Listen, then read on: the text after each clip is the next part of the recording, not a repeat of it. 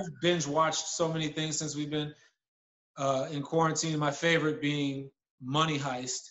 I don't know if you guys, watch. We need to watch it. It's on the list for sure. you, know, you guys gotta watch it. It's awesome. Okay. It's How many awesome. seasons is it? And then and Hunters.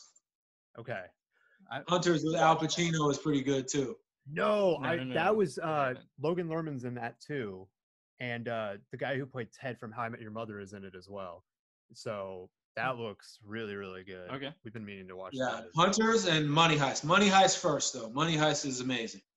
Yeah. Are there any details you can give us on uh the movie that you're gonna be producing?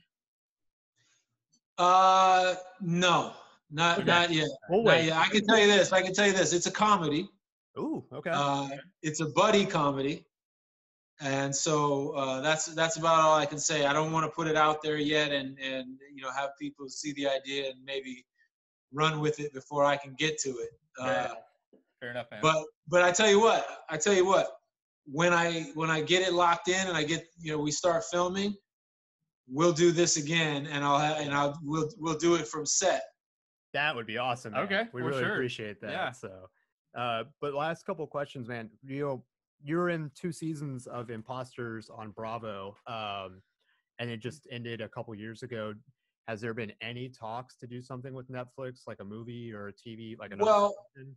you know, we we tried right as uh, Bravo let it go. We tried to get it picked up at Netflix because Netflix had season one and it was doing extremely well for Netflix, and they they passed on it. Um, they picked up uh, Lucifer. Yes, yeah. You know, at the same time they were going, you know, it was us, Lucifer, and maybe some other things. They picked up Lucifer and they they took Inbar Lavi, the girl who played the lead on Imposters, Yeah, yeah, yeah. and made her a, re- a uh, series regular on Lucifer. Oh, dang, Okay. man. so they passed on our show, took our star. person, yeah. Everybody. Just wow. Netflix doesn't play, man. yeah, they don't care. Don't care. you know, but I, you know, I'm friends with Scott Stuber, who runs the uh, feature department over there at Netflix. You know, they're listen. I understand it. It is what it is. You know, Lucifer was coming off of Fox, which had you know Yeah. 11 million viewers. It was a bigger show. No hard feelings.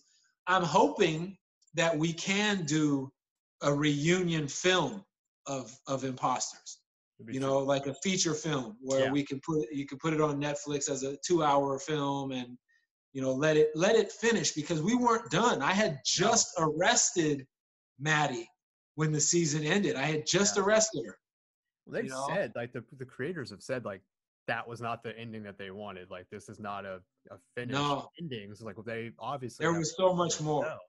So A movie would be perfect. do you Just- think the two hour like a two hour movie would wrap ev- everything that you guys would want to wrap up?